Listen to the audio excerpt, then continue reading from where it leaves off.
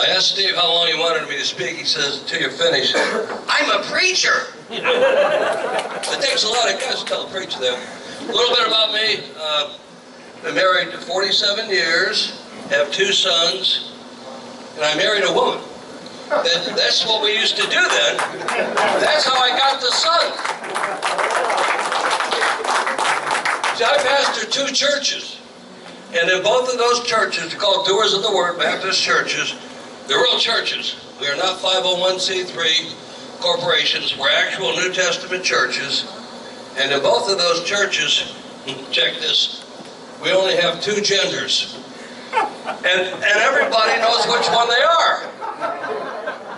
Can you believe that? Amen. Anyhow, I'm here today. Uh, I, I'm the chancellor of the King's Word School of the Bible, and I teach biblical law. And one of the things I teach is where we got the institution of human government. The vast majority of people have no idea where we got the second divine institution, that is of human government. How many here know where we got that? Okay. All right. You ought to all should know that. You really should. Okay. It came through what we call the Noahic covenant. And you find that in God's Word, the Bible, Genesis 9. By the way, the Bible is the most complete uh, source of knowledge and information in existence. There is nothing that comes close to the King James Bible, folks. I know. I've been studying it for years. Now, starting out with that, we start in Genesis chapter 9. And God gives us five points. Now we're talking about legitimate government. Legitimate government. Uh, on February 9th, I, I was asked to give testimony there in Columbus at the State House uh, on a House bill. It was called the Pastors Protection Act. Now, uh, I didn't need that Pastors Protection Act, and we wouldn't need that if we didn't have so many prissy preachers in the pulpits. That, that's just a fact, okay?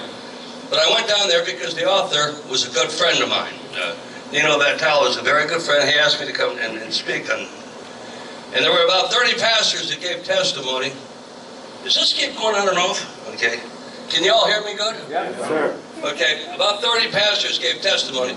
Now mine was the only one that the AP picked up. And they put out all over the nation, one nationwide. And I didn't even know about it until I started getting phone calls. The reason for that was I just told the hard truth about that entity in Washington, D.C. that calls itself the Supreme Court. They are supreme in their sin, they are supreme in their rebellion against God, and their treason against America. And if we go back to, how many of you believe that? Okay. We go back to Genesis chapter 9, and the five points that God gives us, number one, to whom was it given. And you find that in Genesis 9, verse 9, 10, and verses 12, 15, and 16. To all mankind for perpetual generations, an everlasting covenant which spans all dispensations. So when God made this, he made this covenant to, to all mankind and to all animal life too. God made this covenant. The second point was the intent. The intent of real divine human government. And here it was. You find that in the first three verses. And that is man is to govern for God. Man is to govern for God. And then the third point. Now this is the most important point. And this is the purpose, the entire purpose of divine human government. Who knows what it is? To preserve the image of God, that being man. You find that in verses 9, or 5, 6, and 7. God gave man dominion over the environment. He kept dominion of man for himself. And then the fourth point was the means by which man was to govern for God. God's laws, God's statutes, God's covenants, etc. And then the fifth point was simply this. All of those nations that were in compliance with the first four points, they would be at peace and not at war with God. Don't know many nations that are at peace with God today, do we? No. So that's where we got the divine institution of human government. And again, like I said, not only do hardly anybody know it, the vast majority of pastors don't know it, and they really should, shouldn't they? Yep. Sir. Then the other thing too, how many of you, how many of you heard time and time again, Romans 13 says we must obey the government no matter what. Romans 13 means exactly, exactly what Romans 13 says. And it gives us, first of all, he talks about all authority comes from God, all power. Amen. And God has ordained government. Legitimate government, which is real government. What we have today in America is not real, government, it's illegitimate. It's a fraud. It's, we've got power, power. If I was to say to this young fellow here, well, I'm more handsome than you, well, he might argue with that. But I pulled out a 45 and said, now I'm more handsome than you. He would probably agree with me, see? And that's what they have. They have power, but they have no standing. They have no authority. And people will say, well, aren't we supposed to obey the government? No, you're supposed to obey God. And guess what? How many branches of government do we have? Four. One. Okay, this fella got it. Steve has it. We have four. The fourth branch is we the people. The executive, the judicial, and the Congress, they answer to us. But they don't know that. And we have, have allowed that. Now, we're living in such a time, God has raised every one of us up for this time, right now. And I'm often hearing people saying, well, it just seems like things, there's so many of them, they're surrounding us. How can we win? Listen, here's some good news for you folks. You don't have to worry about winning. You don't have to worry about that. You see, the Lord said He will bring the victory with Him. All you have to do is answer the call, you see? Right? Sir. How many former military people do we have here? Good, good, right? When you were given an order, you didn't say, well, you think we can win today? You just go do it, right? And that's what the Lord says, just go do it. Folks, people say, well, I've I've been asked time and time again, Pastor, aren't you afraid they're going to kill you? No, not really. There's been a lot of attempts. They've tried that many times, but but see, here's something that I know. I, I absolutely have no doubts at all. There's not one of us, every single person in here, the time of their departure has already been predetermined by God. That's what the Bible teaches. How many of you know that? So since that's happened, there's no sense of you worrying about time, right? Yes, sir. I'll bet there's not one of you that's going to live forever. I bet you're all going to die, right? This body. Now, let, let me tell you something about being an activist, being a doer of the word, not just a hearer. Uh, you can have a lot of fun doing that too. You really can. See, over the years, I've been in the pro-life movement. I was on the board of Ohio Right to Life for 21 years. And since 1974, we've saved 24,000 babies from abortion.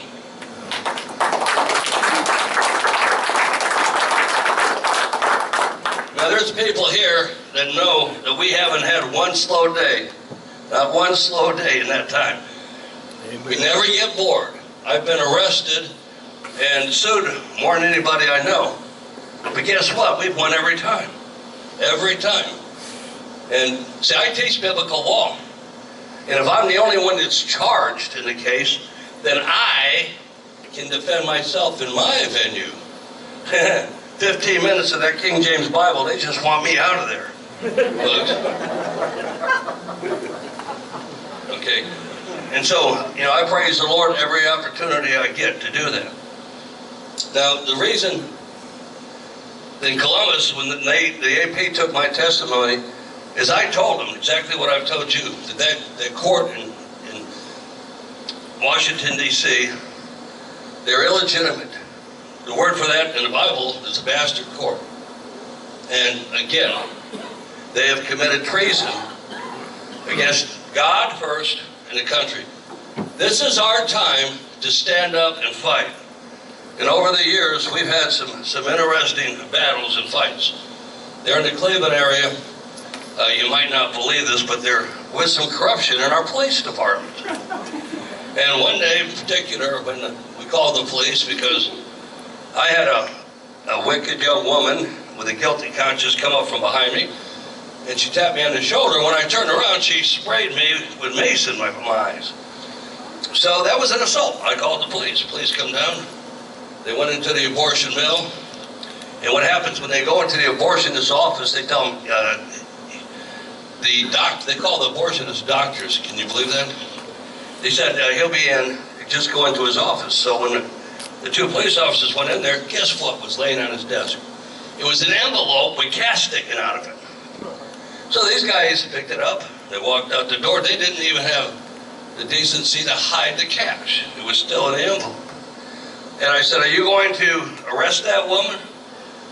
They said, well, Pastor, when people don't want to hear it, they don't want to hear it. I said, okay, I understand. I said, you, you guys don't make enough money being police officers?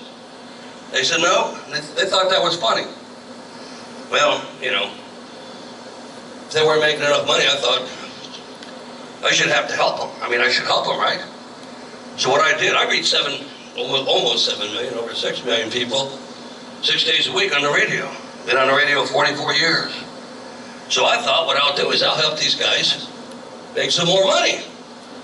So I had their names and their badge numbers and their precinct, 4th District.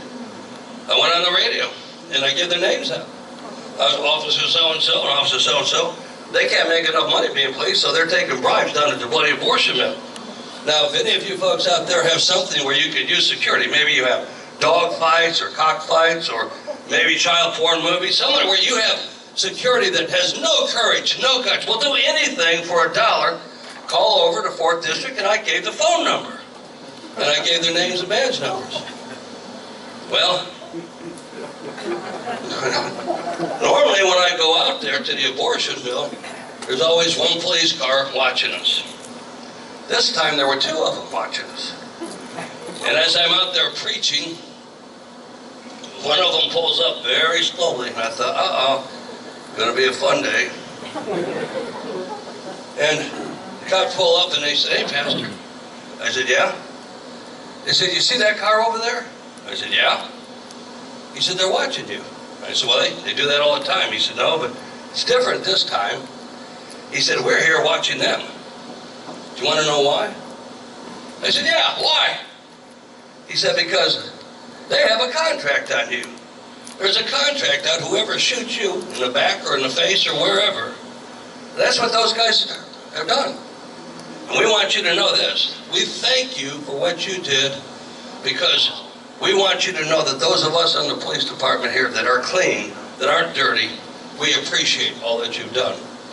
So I went on air and I, I gave those guys some heads up and accolades and praise the good Lord for clean, honest, decent police officers. Amen? Amen. Well, that, that lasted a little while, and, uh, you know, we have a, a policy, and that policy is no compromise, period. None at all. We don't compromise. Well, then we had another situation. Folks, I'm telling you, you can have some fun if you just put the Lord's work first. In our prison ministry, when the national rate was set, uh, uh, return inmates returning back to prison, recidivity rate was 72%. In our prison ministry, ministry, it was zero. Zero.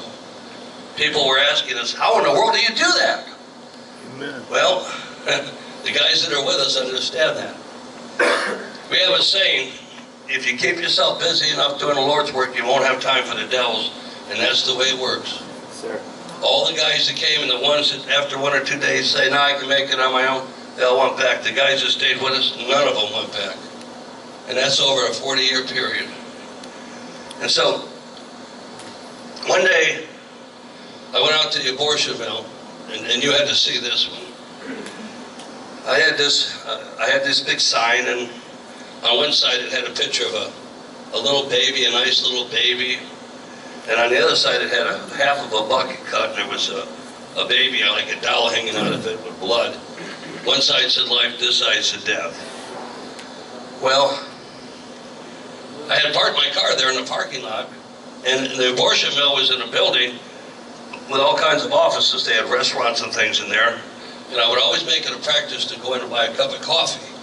Because the law states that if you patronize a place, you can park there uh, for that day. And so they called the police on me. Police came down, young officer, said, you have to move your, your car. I said, well, I don't want to. He said, well, you have to. They want you to move your car. And I said, well, see, if you make me move my car, I'm going to have to sue you unless you make everybody else in that parking lot move their car, because that's actually the law. He didn't know that. He said, let me call the sergeant. He called the sergeant. The Sergeant came down and told him the same thing. He said, let me call my sergeant. He called his sergeant. He came down, same thing. Let me call the captain. Captain came down. Now, folks, I wish you'd have seen this. This was beautiful. How God, because I'm not smart enough to work something like this out, okay?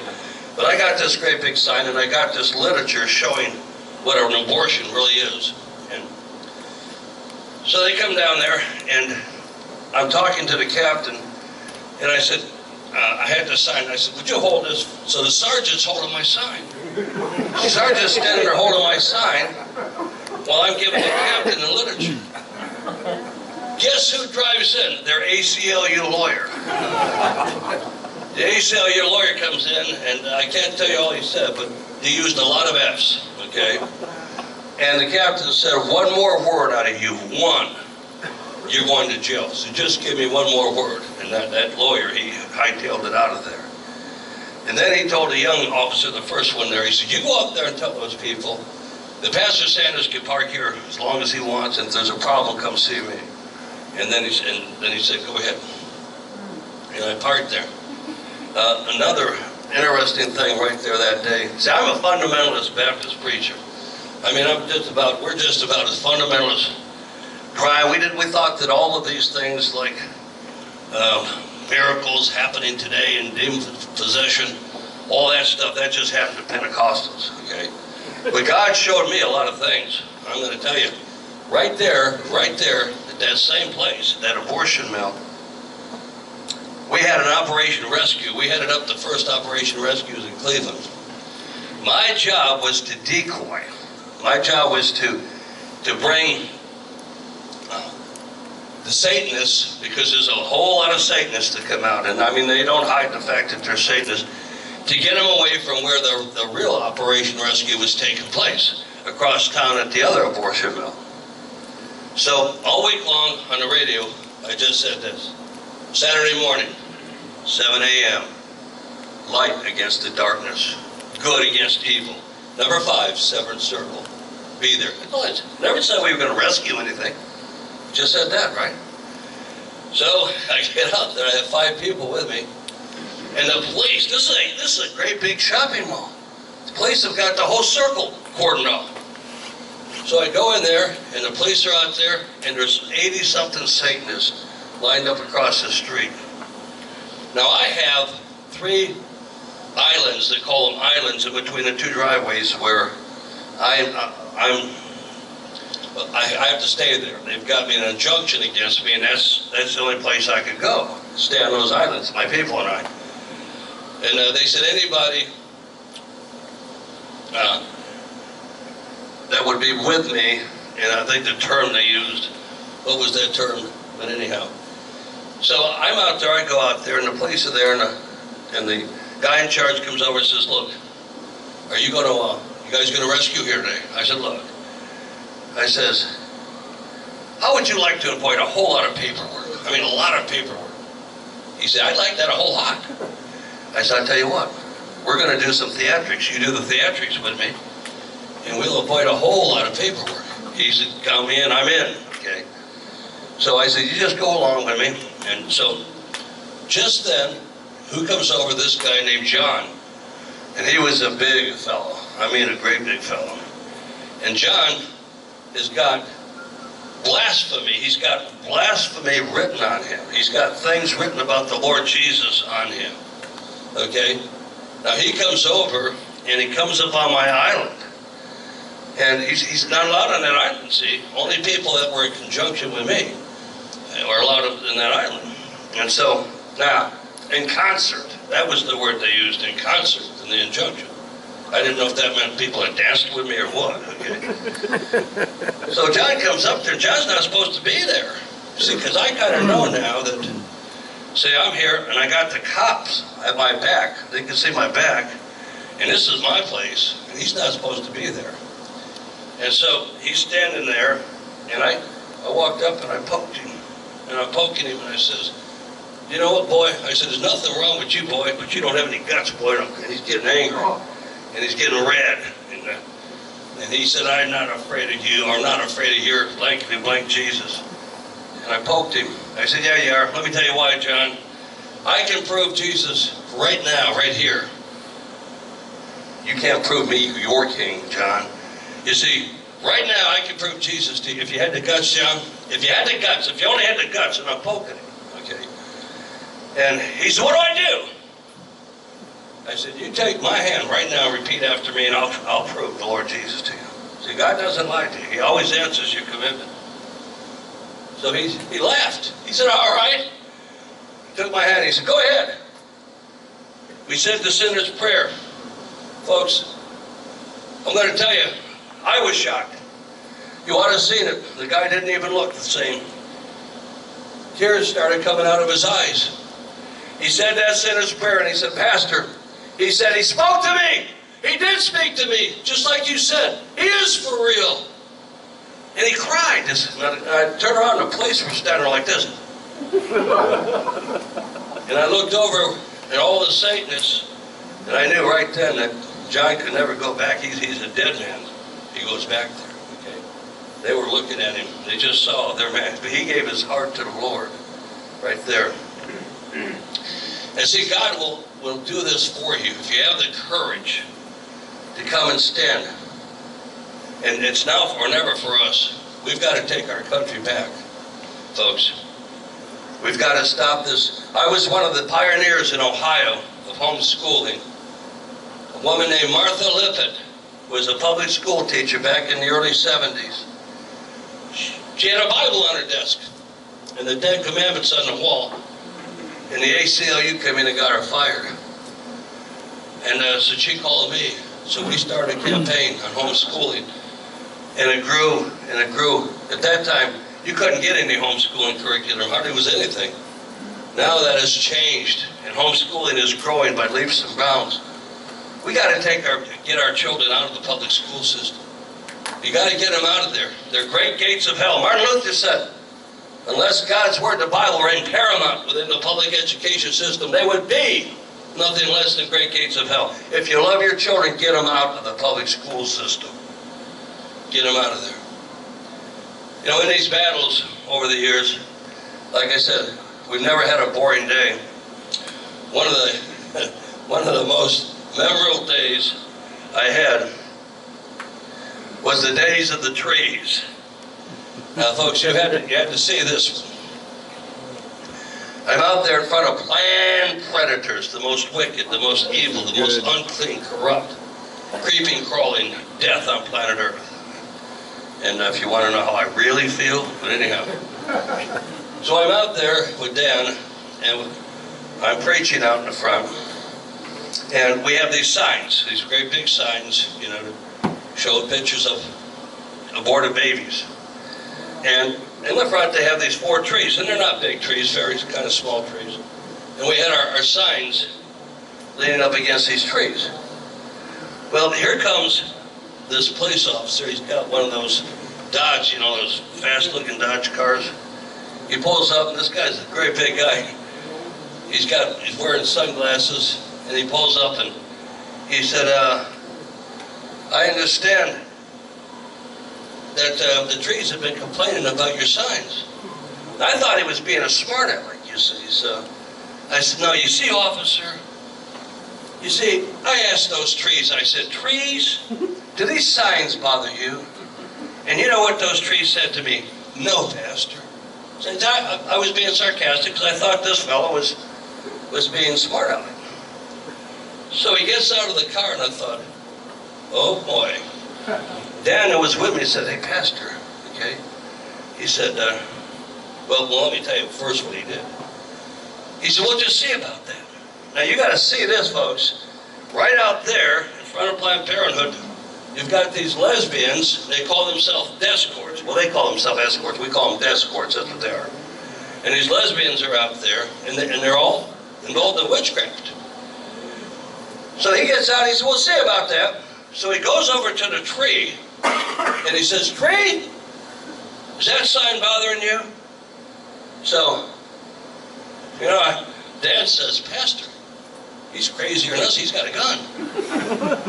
So I, I kind of walked up and I said, no, officer, the sign doesn't bother me at all. He turns around, folks, I'm not kidding you, this is true. He turns around, comes back, he said, well, the tree confirmed what you said, but I, I want to, uh, I want to call another couple of cars, I want them to hear this.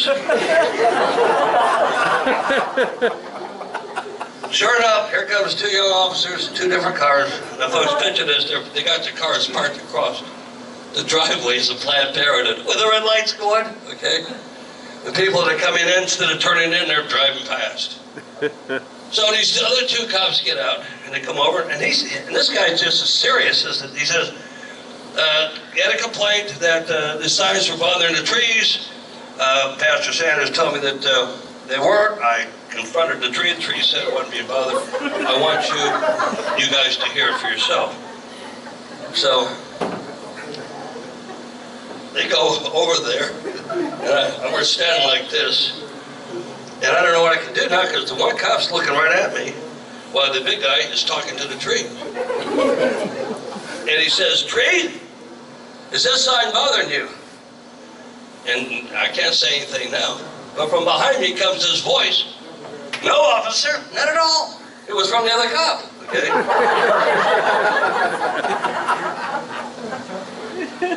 so, I look over there on the sidewalk, and there's the lesbians over there, and they're looking at us with these confused looks. So the, the big cop, he tells the two younger cops, you go on over there, tell them that uh, we talked to the trees, and trees confirmed the was. So they went over there, and they it. And the lesbians just sat there. They didn't know what to say. They couldn't say anything. See, God's got a sense of humor, folks. He, and, and not only that, but in that same place, this fellow over here can tell you he was with me when uh, I was the only one in the whole state of Ohio that was forbidden to drive down this road in front of Planned Parenthood. I, I write songs and make songs. And one of the songs that I wrote is uh, Burning Like a Fire, okay? Don't fall into that burning lake of fire. You go down, down, down, the flames they'll burn higher. You burn, burn, burn, that lake of fire. Well, I put, the, put that on my car, turn it up real loud, and pull up in front of the lesbians, and that's what I sang to them. Don't fall in, you know. And uh, they called the police, and they said I terrified them. I terrified them.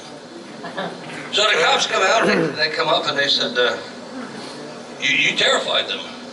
I said, I just sang to them, that's all. I serenaded them, okay?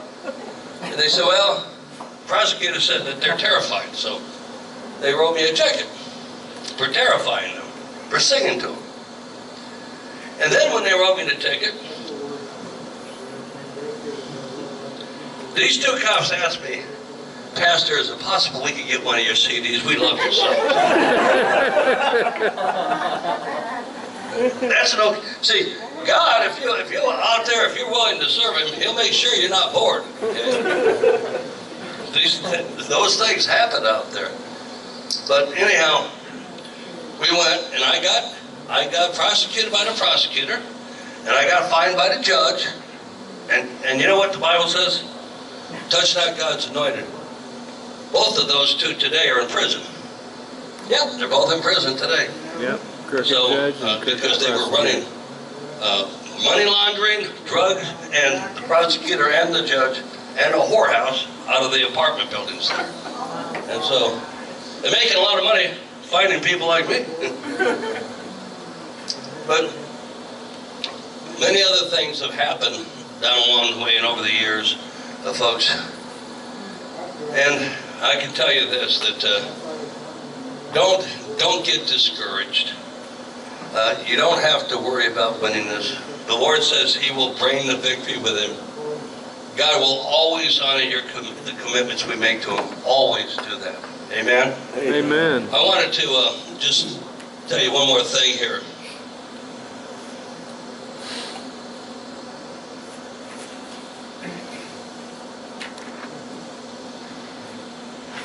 That young fellow from the NRA, is he still here?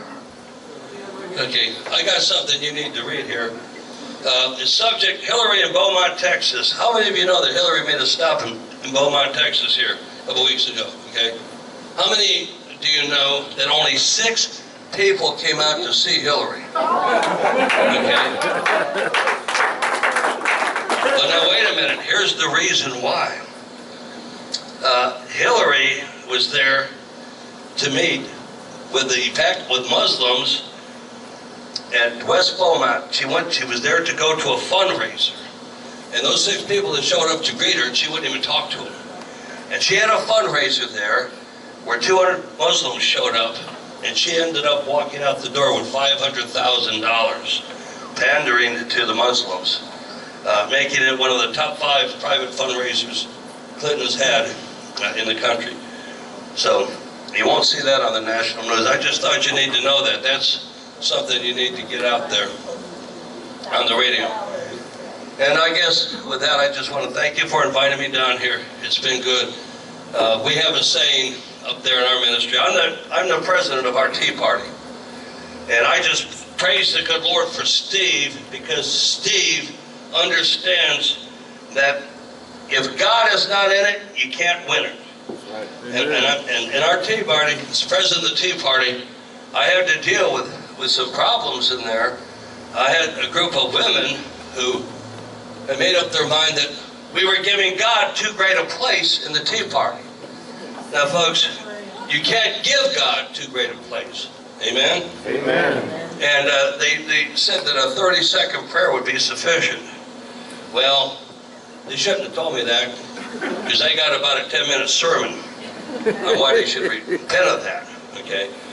But I, I told you, I'm telling you this because you have to watch. They will try to sneak in. There's some women that came in trying to divide uh, out there. In our Lake County Tea Party, the same thing happened out there. And the Tea Party broke off and they formed a Liberty Coalition. And as long as I'm the president of that Tea Party, God comes first. And there is no way that you can ever give God too great a place in your life. And again, folks, obedience to God from Genesis to Revelation, God's Word, the Bible, demands one, obedience to Him. Two, resistance to tyranny is always obedience to God. Amen. Resistance to tyranny is always so. We must resist tyranny. We must run to this battle, uh, folks, uh, because we are more than conquerors in Christ Jesus. Amen? Amen. Amen. Thank you. Thank you.